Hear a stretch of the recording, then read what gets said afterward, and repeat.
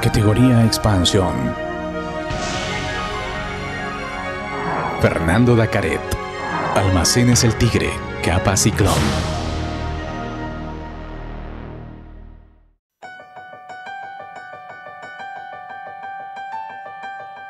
Creció en Almacenes El Tigre, un emprendimiento de sus padres en los años 50 y 60, que competía con el venado, el águila y otros negocios de la Avenida Bolívar. Mis padres nos involucraban en el negocio desde muy pequeños. Nosotros veníamos en las vacaciones a, a empacar las capas, a doblar, a atender algunas veces a los clientes cuando había mucho movimiento. De alguna manera siempre estuvimos involucrados y fuimos creciendo. El negocio fue siempre parte de nuestra vida. Allí se preparó Fernando Dacaret, su gerente, quien estudió ingeniería mecánica industrial, lo que le permitió pasar de la venta de productos de consumo y de capas para el clima lluvioso a toda una industria de impermeables de calidad. Cambiar la idea de que el ciclón era un producto de consumo popular de mala calidad y transformarlo en un producto de excelente calidad en la que el consumidor buscara la marca como símbolo de calidad.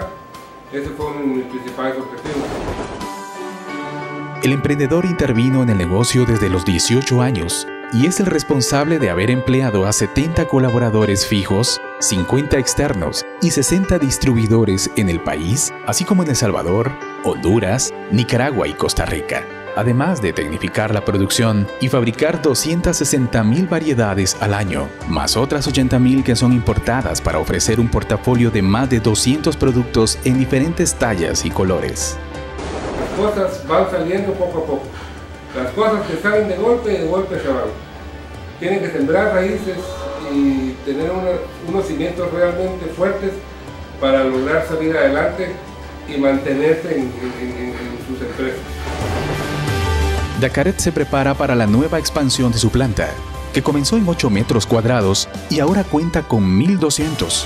Su portafolio incluye la fabricación de impermeables para la industria, entre ellos sombrillas, trajes para motorista, chalecos reflectivos, capas, trajes para cuartos fríos y refrigerados, chompas, productos de empaque y promocionales, entre otros, elaborados con la extraordinaria calidad de capas Ciclón.